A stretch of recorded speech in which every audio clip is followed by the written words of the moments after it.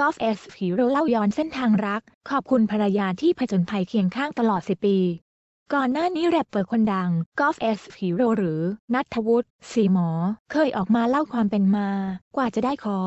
เบล แฟนสาว แต่งงาน ผ่านอะไรมามากมาย หลังจากมีโซ่ทองคล้องสัมพันธ์คือ น้องชูใจ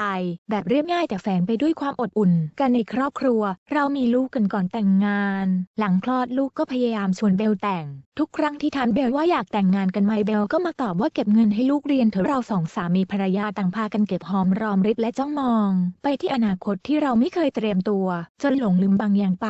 เบลบอกผมเสมอว่า ความรักเป็นเรื่องของคนสองคน พิธีอะไรก็ไม่สำคัญทั้งนั้น แต่ลึกๆ ผมเชื่อว่าผู้หญิงทุกคนต่างเฝ้ารอวันนี้ จากถ้อยคำดังกล่าวสร้างกลามอปรับปลื้มใจให้กับแแฟนๆที่เข้าอ่านอย่างมากและล่าสุดนี้ ในไอจีของกอล์ฟได้แชร์ประสบการณ์และเขียนเล่าเรื่องราวความรักของ เขากับเบลอีกครั้งว่า วันนี้เมื่อ 10 ปีที่แล้ว เป็นวันที่ขอแอดเดลินสมาเป็นแฟนในร้าน Sizzler สาขาเมเจอร์เอกมัย รายละเอียดนั้นเรียบง่าย ไม่โรแมนติก เป็นแฟนกันแล้วก็กินข้าวจนอิ่ม กลับบ้าน มีแค่นั้นเองใครจะรู้ว่าจุดเริ่มต้นง่ายๆ มันคือบทเริ่มต้นการผจญภัยครั้งใหญ่ในชีวิต เป็นการผจญภัยที่ชื่อว่าชีวิตคู่ ผ่านบทรัก บทร้าย จุดสำเร็จ จุดล้มเหลว สุขทุกมาด้วยกันอย่างแสนสาหัสภรรยาผมปากร้าย ผมเป็นคนก้าวอารมณ์ เรื่องทะเลาะกันนั้นเราเองก็มีไม่แพ้คู่ไหน ผ่านมาสิบปีเรากลายเป็นทุกอย่าง ของกันและกันอย่างแนบสนิท มันคือไอ้ครึ่งชีวิตที่เลยคำว่ารักไปไกล เราเป็นพ่อเป็นแม่ที่มีหัวใจดวงเดียวกันคือลูกนั่นหมายถึงเราต่างรู้ว่าหมดสิ้นทุกอย่างบนโลกภายนอกนั้น แต่บนเตียงที่เราได้นอนกันสามคน พ่อ แม่ ลูก มันคือโลกทั้งใบที่ปลอดภัย อบอุ่น และไม่มีสิ่งใดมาทดแทนได้ ขอบคุณที่คอยสนับสนุนทุกความสำเร็จ และคอยกุม มืออยู่เคียงข้างในวันที่ล้มเหลวสิบปีแล้วที่เราผจญภัยเคียงข้างกันมา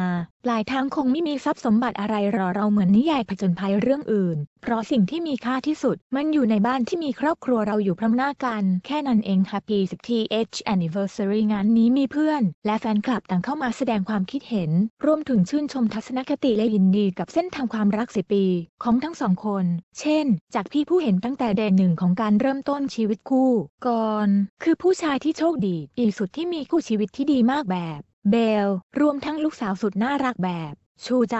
นะจ๊ะ Happy Anniversary นะ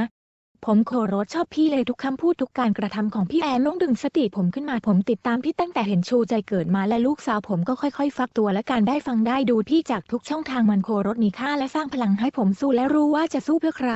ขอบคุณพี่มากๆนะครับ